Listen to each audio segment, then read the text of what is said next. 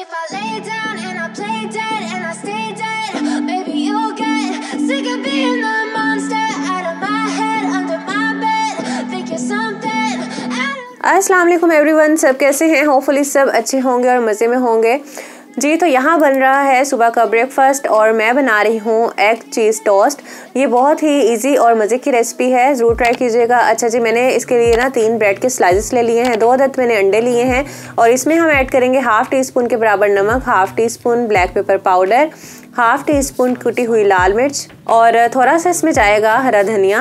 To table spoon इसमें जाएगी जी shredded चीज़ मेरे पास मोजरेला चीज़ थी श्रेडेड तो मैंने वही ऐड की और इसके बाद हम इसको मिक्स कर देंगे। आजकल अब्दुल हादी के एग्ज़ाम्स चल रहे हैं तो बस एक पेपर और एक छुट्टी वाला सीन है और इसीलिए अब्दुल हादी बच्चे ना आज थोड़ा लेट ही सोकर उठे थे तो मैं ग्यारह बजे इनका ब्रेकफास्ट रेडी करी थी।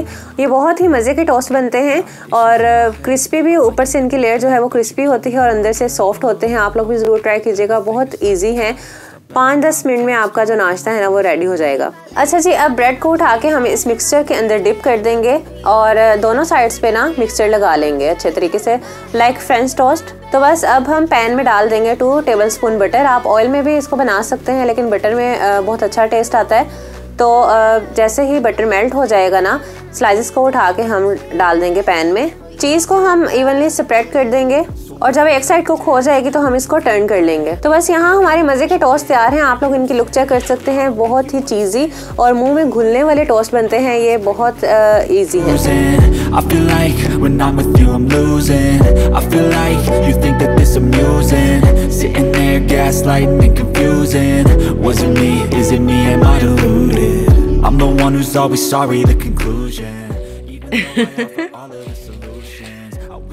I क्या हुआ इतना सैड सैड क्यों? चलो बेटा भाई के साथ ट्रॉइस पैक करवा दो।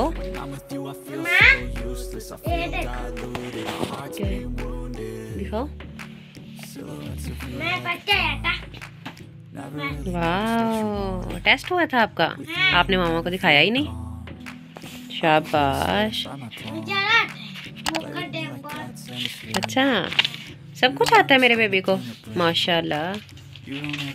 बच्चे बस यहाँ बैठकर अपना काम कर रहे थे और मैं चली गई थी किचन में लंच बनाने के लिए। आज की जो रेसिपी है ना, हो सकता है आप लोगों ने पहले ट्राई ना की हो, क्योंकि आज मैं बनाने जा रही हूँ लेफ़्ट ओवर मसूर की दाल के पराठे। तो जनाब जी, जब भी हमारे घर में मसूर की दाल बच जाती है ना तो हम नेक्स्ट डे उसके पराठे बनाते हैं, जो कि सब घर वालों को बहुत पसंद है और बहुत मज़े के भी बनते हैं क्रिस्पी से बनते हैं। तो चलिए जी, इसकी मेकिंग स्टार्ट करते हैं, मैं आप लोगों को रेसिपी बताती हूँ। अच्छा जी, इसके लिए ना मैंने पाँच कप ले लिए हैं गंदम का आटा, जो हम रेगुलर आटा इस्तेमाल करते हैं, बिल्कुल वही है ये। आप भी इस तरीके से मैयर करके लीजिएगा आटा, और उसके बाद हम इसमें ना मसूर की दाल ऐड करेंगे, जो कि लेफ़्ट ओवर है।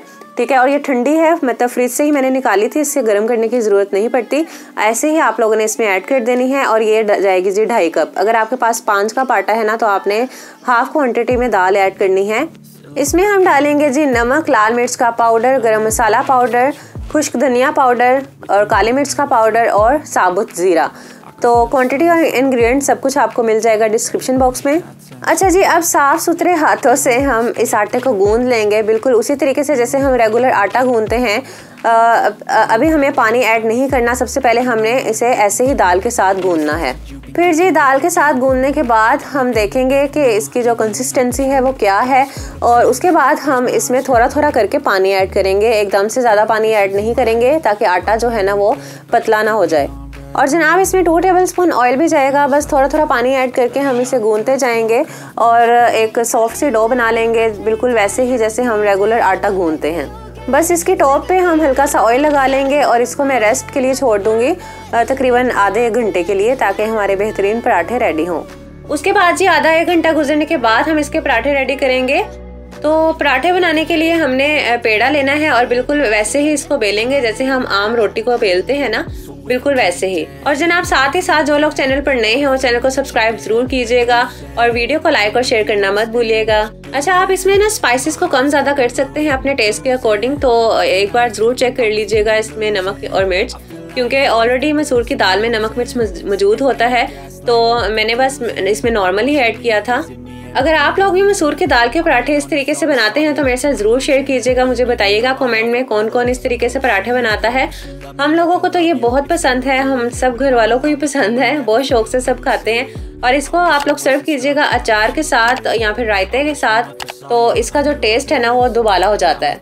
तो बस जी जनाब, यहाँ हमारा पराठा तैयार है, आप लोग इसकी लुक देखिए, कितने मज़े का लग रहा है ना।